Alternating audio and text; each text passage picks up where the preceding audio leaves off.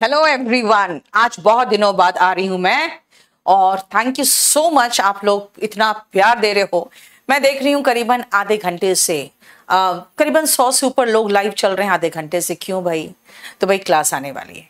और अविनाश यादव आई तुम्हारा जो कमेंट है ना बेटा, इतना बढ़िया कमेंट है।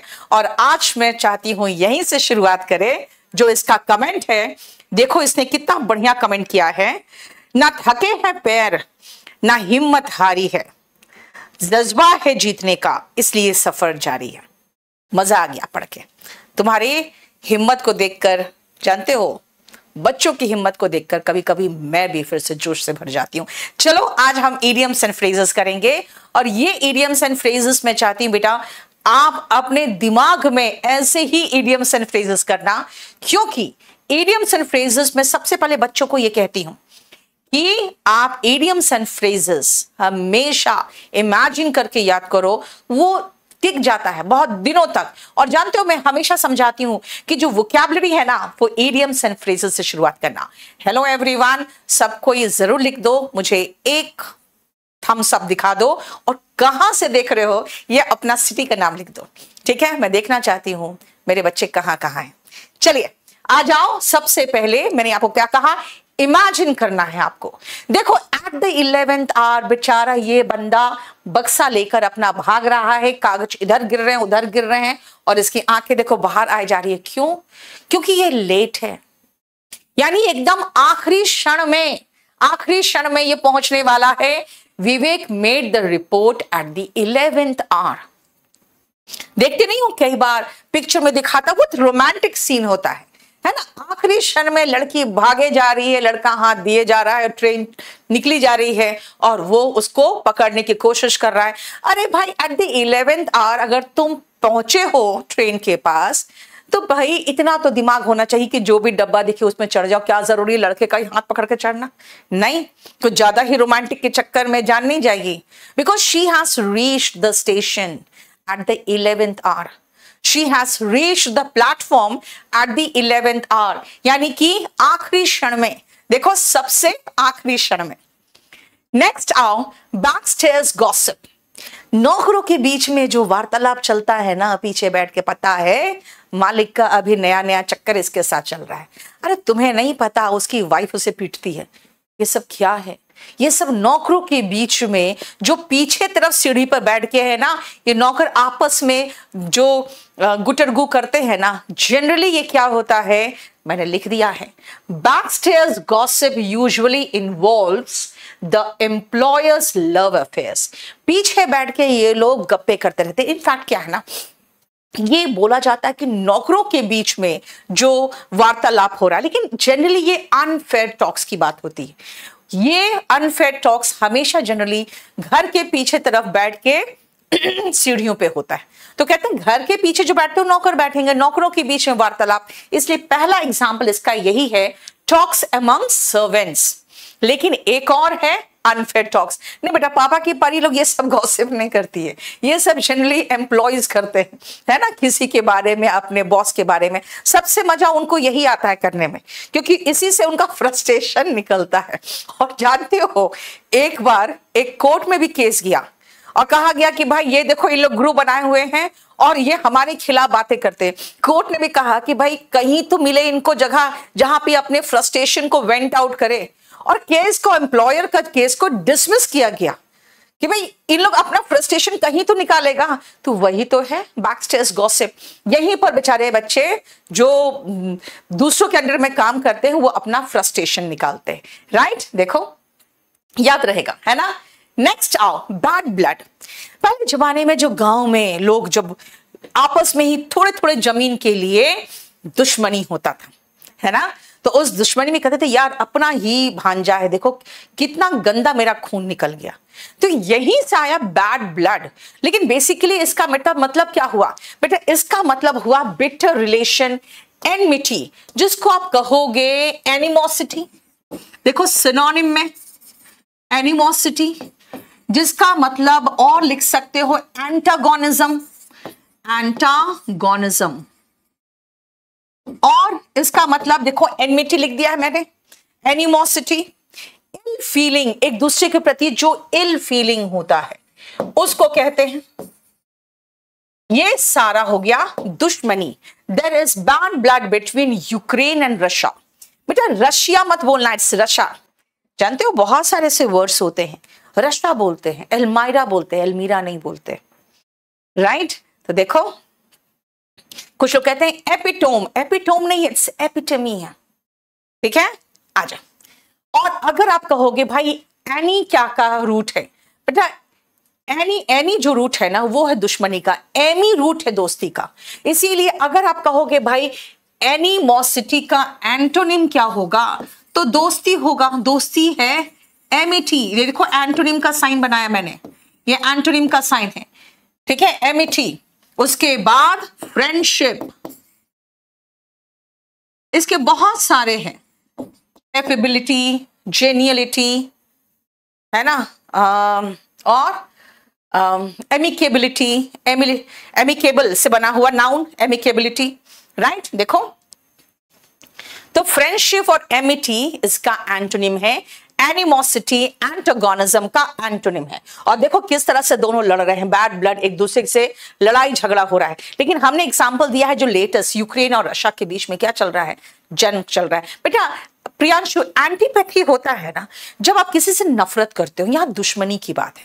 नफरत की बात करेंगे, तब तो फिर बहुत सारे सिनोनिम नफरत का भी आ जाएगा। है ना? एमिटी हो गया फ्रेंडशिप हो गया। आप चाहो तो इसमें सहिष्णुता भी लिख सकते हो। है ना? सहिष्णुता क्या होता है? अच्छा रिलेशन नहीं, जैसे कहोगे कि अगर आप फ्रेंडशिप की बात कर रहे हो तो वही हुआ एमिकेबिलिटी हो गया और क्या होगा राइट? कंपेटेबिलिटी चलेगा, लेकिन वो ज़रूरी नहीं, अब इतना ज़्यादा सिनोनिम नहीं करना हमें। हम आज इडियम्स एंड फ्रेजेस करेंगे सिनोनिम डिस्कस करेंगे तो बहुत ज़्यादा हो जाएगा। चलो नेक्स्ट आप bag and baggage Shanu happy birthday in advance बेटा। हैप्पी बर्थडे इन एडवांस चलो, देखो, आज आ गई मैं तुम्हें बर्थडे विश करने के लिए। आ जाओ बैग एंड बैगेज बेटा, देखो जरा, बोरिया बिस्तर समेत, है ना? ऐसे ही आप लोग मुझे लगते हो, देखते हुए, जब तुम लोग दिल्ली आते हो ना, सारे सामान ऐसे उठा के, और जानते हो कभी को मुझे लगता है, बेचारा कितना परेशान लग रहा है, फिर लगता है, नहीं अभी ये आज पहली बार घर से निकला है। चेहरे में परेशानी, पसीना टपक रहा है, सामान इधर से उठा रहा तो इधर गिर रहा है। लेकिन ये भी लाइफ में ज़रूरी है, क्योंकि इस चीज़ से मैं भी गुजरी हूँ और उस दिन बड़ी फ्रस्ट्रेशन में थी कि बाप रे, इतने बड़े घर से निकल के, गिरिडीह में मेरा बहुत बड़ा घर है। इतने बड़े घर से निकल के इस रूम में जहाँ पर पार्टीशन से बने हुए मतलब मुझे लग रहा था मेरा दम घुट जाएगा, क्योंकि मुझे लग रहा था मैं यहाँ पे सांस कैसे लू। लेकिन लाइफ में वो सब चीज़ें भी ज़रूरी होती है, नहीं? तब आप मज़बूत बनते हो। आ जाओ। ऐसे ही दिखते हो। अब यहाँ पे एग्ज़ाम्पल क्या मैंने दिया है? माई टेनेंट यानी कि मेरा किराएदार लेफ़्ट कैसे?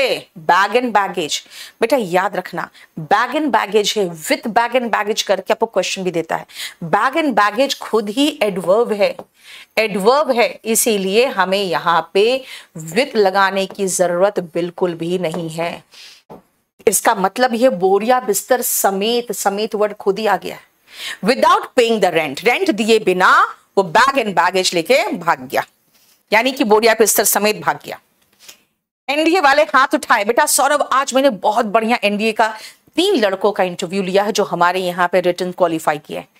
और दो तीन बच्चे और आने वाले थे, आज नहीं आ पाए। मुझे लगता है दो तीन दिन के बाद उनका भी इंटरव्यू होगा। देखना वो लोग कैसे परिवार से एक फार्मर का बेटा है, एक तो है जिनके फादर वो वीकली मार्केट लगाते हैं। एक तो ठीक ठाक था, उसके फादर गवर्नमेंट टीचर है। बाकी दो की तो हालत बहुत बुरी, और ऐसे सिचुएशन में रख उन लोगों ने रिटर्न क्वालिफाई किया है। चलो, देखो। बेकर्स डजन बेटा इसके पीछे एक कहानी है। अब कहोगे, मैम डजन में बारह होता है। यहाँ पे तेरह क्यों है? ध्यान से सुनना, तेरह क्यों? इंग्लैंड में जब मेडिवल एज में इंग्लैंड में जो बेकर्स होते थे ना वो अपने बना के नहीं बेचते थे। बल्कि उनको आ, दिया जाता था आटा। जैसे मान लो मुझे चाहिए ऐसा आ, बन चाहिए। तो मैं उसे आटा दूँगी। और वो मेरे लिए मेरा आटे का वो बन बना के देगा। लेकिन होता क्या था कि अगर बाय चांस मैंने जाके कंप्लेन कर दिया अथॉरिटी को कि देखो मेरे से आटा इतना लेता है और ये जो बन बना के दे रहा है मुझे जो मुझे ब्रेड दे रहा है, इसका भार कम है। तो क्या होता था कि जो बेकर होता था ना, उसको कोड़े से पिटाई होती थी। तो बेकर लोग डरे रहते थे कि भाई, कहीं ऐसा ना हो कि पिटाई हो जाए। तो वो क्या करते थे ना कि एक दर्जन जो बेकर बना के देता था दर्जन भर, वो क्या करता था, एक एक्स्ट्रा बन भी डाल देता था। मतलब बारह ब्रेड बना के दिया, उसमें एक एक्स्ट्रा ब्रेड पहले उस समय ब्रेड बन के शेप में आता था, वो भी दे देता था। कि भैया तेरा ले जाओ। लेकिन मेरा कंप्लेन मत करना, क्योंकि ऐसा ना हो कि मेरा कंप्लेन कर दो कि भाई मैं कम देता। ठीक है? तो इसीलिए बेकर्स डजन का मतलब होता था तेरह इन संख्या थर्टीन इन नंबर देखो, Abhishek bought a baker's dozen of biscuits यहाँ बिस्किट्स की बात हो रहा है। चलो थैंक यू सो मच आप लोग आज इतने दिनों बाद में आई, फिर भी आप लोग आए हो वेलकम कर रहे हो मुझे। लेकिन प्लीज़ बेटा, इसको शेयर कर लो। ठीक है? क्योंकि इस बीच मैं बहुत सारे चीज़ों में उलझी रह गई। इनफैक्ट बहुत सारी चीज़ों में। और, बहुत कुछ करना रहता है, बहुत कुछ करने के चक्कर में बहुत सारी चीज़ों में फंसते चली जाती हूँ। और उसमें ही काम में इतना उलझ गई कि मैं कुछ कर ही नहीं पा रही थी। लेकिन मैं, आप लोग जो मैंने सपोर्ट किया ना आपने मेरे स्पोकन के चैनल को, उसके लिए धन्यवाद। और इस चैनल को भी बस लाइक शेयर और सब्सक्राइब कर लो। थैंक यू सो मच चलो नेक्स्ट आओ। Born with a silver spoon in one's mouth देख रहे हो? इनका पोता। नहीं, इनका भी पोता है, पोती है शायद। भाई, इन लोग को देख के लगता है कि भाई, कहा इन लोग पैदा हुए, नहीं? देख के ही पैदा होते साथ ही खुश हो जाता हुआ इन लोग, नहीं? अरे यार, मैं कहा पैदा हुआ? अंबानी के यहाँ पे। They are born with silver spoon in the mouth जैसे आकाश अंबानी की बात अगर करें। He was born in silver spoon in mouth क्यों? क्योंकि कहाँ पैदा हुआ? हम्म? मुकेश अंबानी के घर में। राइट सो देखो born with a silver spoon in one's mouth यानी ये जो लड़की है she was born with a silver spoon in her mouth और ये जो बच्चा है he was born with a silver spoon in his mouth समझ में आ रहा है? वंस की जगह पे क्या होता है? ठीक है? तो इसीलिए इस तरह का, जब आप करो ना तो ऐसा इमेजिन करो, भाई इनका पोता के रूप में जो पैदा हुआ, वो तो खुद ही उछल पड़ा होगा। यार, किस्मत खुल गई। नहीं? नेक्स्ट देखो। Be in the driving seat बेटा, अगर आप ड्राइविंग सीट में तो क्या करोगे? सारा कंट्रोल आपके हाथ में। है ना? जहाँ चाहोगे, उधर मार दोगे। प्रॉपर तरीके से गाड़ी चलाओगे। जब मर्ज़ी ब्रेक लगाया, पीछे वाले धार से आगे गिरेंगे। यानी पूरा कंट्रोल तो आपके ही हाथ में। इसीलिए याद रखना कि कुछ सालों के बाद, बेटा, आप लोगों को मैं समझाती हूँ कि लड़कों की ज़िंदगी इतनी आसान नहीं होती। कुछ सालों के बाद you will be in the driving seat of your family मतलब सारा का सारा रेस्पॉन्सिबिलिटी आपका होगा, आप भार उठाओगे। मैंने क्या कहा? You will be in the driving seat जैसे कई बार महिलाएँ भी, बाहर भी काम करो, बच्चे भी संभालो, घर भी संभालो, सब कुछ संभालो and then she is in the driving seat of the family देखो with the new CEO in the driver's seat the company has turned profitable in just two years. दो ही सालों में कंपनी प्रॉफिटेबल हो गया है प्रॉफिट कमा रहा है। क्यों? क्योंकि ये जो नया सीईओ है ना, जब से उन्होंने पदभार संभाला है, तब से। तो मैंने आपको क्या कहा? लड़कों को ध्यान से सुन लो।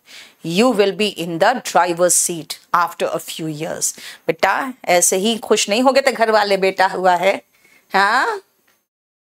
बेयर द ब्रांड टॉप बेटा बियर मत बोलना। कई टीचर्स को मैं देखती हूँ बियर बियर बोलते रहते हैं। बेयर बियर सिर्फ़ वो पीने वाला बियर है। ठीक है? क्लियर बेर द ब्रांड ऑफ़ यानी कि सारा का सारा जो कहते हैं ना, जो ठिकरा फूटना उस पर, सारा का सारा प्रॉब्लम का जो दोष मरना है, बस उसी पर आ रहा है। कौन है ये? जैसे ब्लैक पीपल देखते हो? जानते हो? जो वाइट लोगों के कंट्री में जो ब्लैक पीपल है जब भी कोई इलीगल काम होता है ना, सबसे पहले उन्हीं को पकड़ लेते हैं। क्योंकि उनका मानना है कि नहीं यही लोगों ने क्राइम किया होगा। ये कंटिन्यू कर रहे हैं to bear the brunt of racial violence जो भी रेशियल यानी कि समझते हो ना, नस्ल वाले जो वायलेंस होते हैं, है ना? नस्लीय जो हिंसा है, उसका सारा का सारा जो बिल्कुल भार पड़ता है, वो पड़ता है किस पे? ब्लैक पीपल पे। To bear the main part of something unpleasant याद रखना ठीक है? बेटा अपोजिट का एंटोनिम अपोजिट होगा। ठीक है? Bear the brunt of right समझ में आया? देखो। नेक्स्ट आओ। बीट अबाउट द बुश अरे भाई, तुमको ये बुश अगर काटना है तो बुश को काटो ना इधर उधर पीटने से। इस बुश का कुछ नहीं होने वाला। यानी जो बात करनी मुद्दे पे बात करो ना। कहाँ घुमा फिरा के इधर उधर की बात कर रहे हो? इसको कहते हैं सरकम लोक्यूशन बेटा, ये सरकम है। सरकमफ्रेंस में ऐसे घूम क्यों रहे हो? भाई, यहाँ से सीधा यहाँ तो जा सकते हो। यानी आप लोकेट तो कर रहे हो। लोक्यूशन का मतलब वार्तालाप होता है, बेटा। लोकुआ is the root of speech यानी इतना घुमा फिरा के बात कर रहे हो सीधी सीधी बात नहीं कर रहे। है ना? Instead of answering my question Ria began to beat about the bush जब भी आप देखोगे घर में जो छोटे बच्चे होते हैं, आप उनसे पूछो कि तुमने ये गलती क्यों की? वो घुमा फिरा के मेरे दोस्त ने ऐसा कर दिया, उसने ऐसा कर दिया। अरे सीधा सीधा मुद्दे पे आओ ना, नहीं आते हैं। क्यों? Because they know very well कि सीधा सीधा जवाब देंगे तो प्रॉब्लम हो जाएगा। They will beat about the bush circumlocution कहते हैं उसको। घुमा फिरा के बात करना। इधर उधर की बात करना। ये पीडीएफ अभी थोड़ी देर में केडी लाइव नीतू सिंह वो क्या spoke in English by Neetu Singh right इसमें डाल दूँगी मैं? बीट ब्लैक एंड ब्लू देख रहे हो? कैसा पीट दिया इसको? ये अभी लाल लाल हुआ पड़ा है, थोड़ी देर में ये नीला होगा, फिर काला होगा। नहीं? पिटने पर या कहीं पर भी छिलने पर देखते हो, क्या होता है? पहले लाल होता है, फिर नीला होता है, फिर काला होता है। वही बीट ब्लैक एंड ब्लू मतलब मर्सीलेसली मर्सी का मतलब होता है बेटा M E R C Y का मतलब होता है दया। लेस मतलब है ही नहीं, यानी कि निर्ममता पूर्वक निर्ममता पूर्वक देख रहे हो? अच्छे से कुटाई होना। The dog was beaten black and blue by his master and left on the street to die. हमने किसी इंसान के लिए नहीं लिया, हमने जानवर के लिए लिया कि जानवर को ब्लैक एंड ब्लू पीटा गया और फिर उसको छोड़ दिया गया मरने के लिए। यानी इस कुत्ते की बात की मैंने। ठीक है? देखो, बस ऐसे याद रखना नहीं यार। बीट मतलब पीटना ब्लैक मतलब काला ब्लू मतलब नीला। नीला काला कर देना। जिसने ये बनाया होगा, उसमें मुझे लगता है वो अच्छे से कभी ना कभी पिट गया होगा किसी से। तभी उसको पता है ब्लैक होते हैं, ब्लू होते हैं। देखो।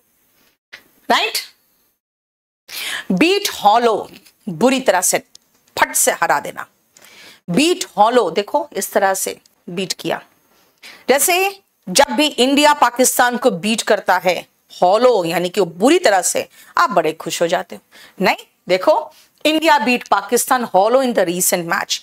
यहाँ पर हम खुश होते हैं, वहाँ पर पाकिस्तान खुश हो जाते हैं जब इंडिया से हारते। मतलब यार, ऐसी क्या दुश्मनी की जब पाकिस्तान को हराते तो बड़े खुश होते हैं हम लोग। जब वो इंडिया को हराते तो बड़े खुश होते हैं, यार। नहीं। देखो, इसका मतलब है काफ़ी आसानी और बुरी तरह से पराजित करना। To defeat someone easily and convincingly mercilessly बहुत बुरी तरह से हराना। ठीक है? यानी बीट भी किए हैं, यानी बीट का मतलब दो चीज़ होता है बेटा, पीटना और हराना। ठीक है? Beat hollow India beat Pakistan hollow in the recent match समझ में आ गया?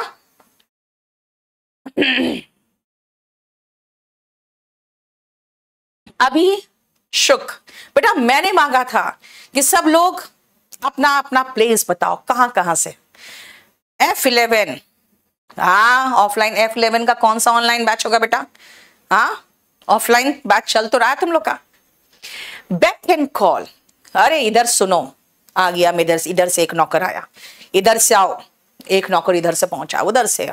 सारे नौकर एकदम, जी हुजूर खड़े हैं। एक आवाज़, एक कॉल देने पर नौकर हाजिर है।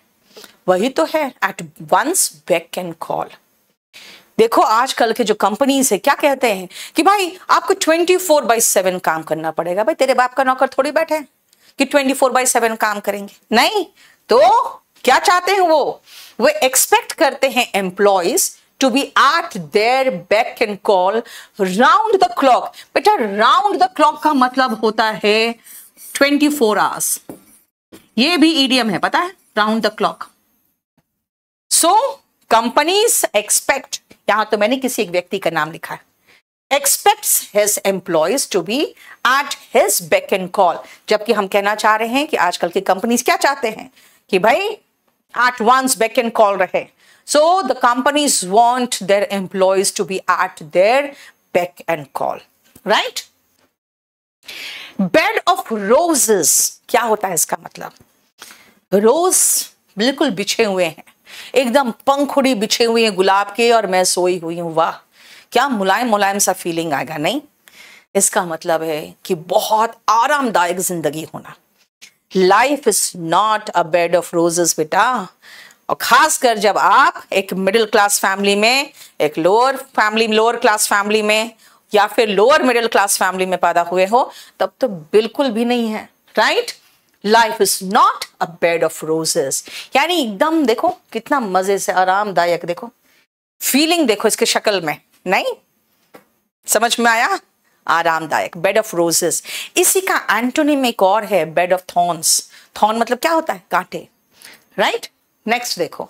आ गया बेड ऑफ़ थॉर्न्स और देखो, इसमें एक चीज़ है, ये आपको समझ में आ रहा है? यहाँ पे जो भीष्म थे, वो देखो थॉर्न्स पे। यानी कांटे थॉर्न्स का मतलब कांटे होता है। यहाँ पे हमने उनको एरोस पे दिखाया है कि किस तरह से उनको एरो भेद दिया था और उसके बाद उसके, उसको किसने मारा था? बताओ। हम्म भीष्म पितामह को तीर से किसने इतना भेदा था? नाम है पता? जरा बताओ तो कौन था? है ना? तो वो उसी बेड ऑफ़ थॉर्न्स पे रह के उन्होंने पूरा का पूरा वॉर देखा था। पूरा का पूरा जो बैटल था। राइट तो याद रखना जो मैंने अभी कहा कि अगर आप मिडिल क्लास फैमिली के हो लोअर क्लास फैमिली के हो lower class middle lower middle class family के हो तो life is a bed of thorns for you it is not a bed of roses yes Arjun ने वेरी गुड बहुत बढ़िया। समझ में आया? ये आप इमेजिन करो बेटा पिक्चर और कोशिश करो उससे रिलेट करने का खुद को, खुद ही। बेगर डिस्क्रिप्शन क्या तुम डिस्क्राइब करोगे? कश्मीर को। वो इतनी इतनी सुंदरता है उसमें। आप उसको कैसे डिस्क्राइब करोगे? डिस्क्राइब करने के लिए भी आपको है ना बेग करना पड़ेगा डिस्क्रिप्शन कि भाई कोई बताओ, कोई शब्द दो मुझे कि मैं ऐसी ब्यूटी को डिस्क्राइब कर सकूँ। है ना? बेग कर रही हूँ मैं वर्ड्स को। भाई कोई अच्छे शब्द दो ना। वही है beggar description the beauty of Kashmir beggars description यानी कि नहीं समझ में आता है कौन से शब्द इस्तेमाल करूँ जिससे मैं तुम्हें बता सकूँ कि हाँ की सुंदरता क्या है। देखो समझ में आया? Beggar description yes very good Arjun ने किया था। है ना? सो so, ऐसे भी याद रखना। बहुत सारे लोग सोचते हैं कि भाई अमीर के घर में पैदा हो जाएँगे उसके घर में पैदा हो जाएँगे। बेटा किस्मत में जो लिखा है वो तो होके रहेगा ही। इसलिए आपने देखा भीष्म की किस्मत में क्या क्या लिखा था? नहीं? कभी भी वो खुश रहे? अरे खत्म हो गया। अब ये मैं आपको अभी थोड़ी देर में शेयर कर लूँगी और रात को दस बजे मैं आ, कल नहीं परसों फिर से आऊँगी। और अभी मैं बहुत सारे अच्छे एडियम्स बना रही हूँ और कोशिश यही कर रही हूँ मैं कि बहुत बढ़िया से आपको एक्सप्लेन करके दूँ कि किस तरह से आप एडियम्स एंड फ्रेजेस याद कर सकते हो। इंग्लिश स्पोकन कोर्स कैसे ले? परमजीत आप चले जाइए ना केडी लाइव ऐप को डाउनलोड कर लो। वहाँ पे जाके एक नया स्पोकन का भी बैच ला रही हूँ मैं, करीबन 20 अक्टूबर को आ रहा है। ठीक है ग्रामर प्रैक्टिस के लिए क्या करें? डिवाइन वर्ल्ड बेटा प्रीवियस क्वेश्चन पेपर्स उठाओ और सारा दंदना के प्रैक्टिस कर लो। अभी जैसे मैंने ये निकाला है गोल्डन बुक आप चाहो तो इससे कर लो, है ना? वो क्या अब याद नहीं हो रहे योगेश, बेटा, शुरुआत में आप याद करोगे, भूलोगे, फिर याद करोगे, फिर भूलोगे। आपका काम है सिर्फ़ याद करते रहना। पहले आप ईडियम्स एंड फ्रेजेस से शुरुआत करो। तभी मैंने आज ईडियम्स एंड फ्रेजेस से करवाया आपको। आप देखोगे मज़ेदार तरीका था। दिमाग में फिट कर ले, बस, हो जाएगा। ठीक है? न्यू बैच एसएससी का बेटा ऑफलाइन में तो मेरे पास अभी थोड़ा सा दिक्कत हो रहा है, क्योंकि मेरे सारे बैचेस फुल है, सारे हॉल्स फुल है। तो मुझे सात आठ तारीख के बाद मैं सोचूँगी, अब मुझे समझ में नहीं आ रहा यार। सात तारीख को पहले बाईस को था, फिर सात को हुआ, अभी फिर भी नहीं कर पा रहे। वी डोंट हैव स्पेस मेरे पास कोई स्लॉट खाली नहीं। ऑफलाइन नहीं है भी ऑनलाइन देख लो, दस अक्टूबर को आ रहा है। दस अक्टूबर को ऑनलाइन बैच ठीक है? बेटा, हम लोग एंड्रॉयड में हैं और लैपटॉप में हैं। आईओएस में अब हिमांशु नहीं है, जल्दी आ जाएँगे। ठीक है? अभी ये पीडीएफ में आपके साथ शेयर करूँगी। नीतू सिंह वो कैप पे केडी लाइव पे and spoken English by Neetu Singh. ये तीनों मैं टेलीग्राम चैनल में शेयर कर लूँगी। हाँ केडी लाइव ऐप को डाउनलोड कर लो। वहाँ पे आपको रोज बहुत सारे पीडीएफ मिलेंगे और बहुत सारी चीज़ें मिलेंगी। इसलिए आप वो डाउनलोड ज़रूर कर लो। क्लोज टेस्ट कराते हैं बेटा। बीच बीच में प्रैक्टिस तो मैं कराती हूँ। प्लीज़ इस चैनल को सब्सक्राइब कर लो। ये वन मिलियन होने वाला है। जितने जल्दी आप वन मिलियन का कर दोगे, मैं उतने ही उत्साह के साथ कुछ फिर नया लेके आऊँगी जैसे मैंने गोल्डन रूल्स की क्लास लाई थी मैं। ठीक है? चलो थैंक यू सो मच आप लोग से मुलाकात फिर मेरी होगी। आज कौन सा दिन है? फ्राइडे मोस्ट प्रॉब्लम है संडे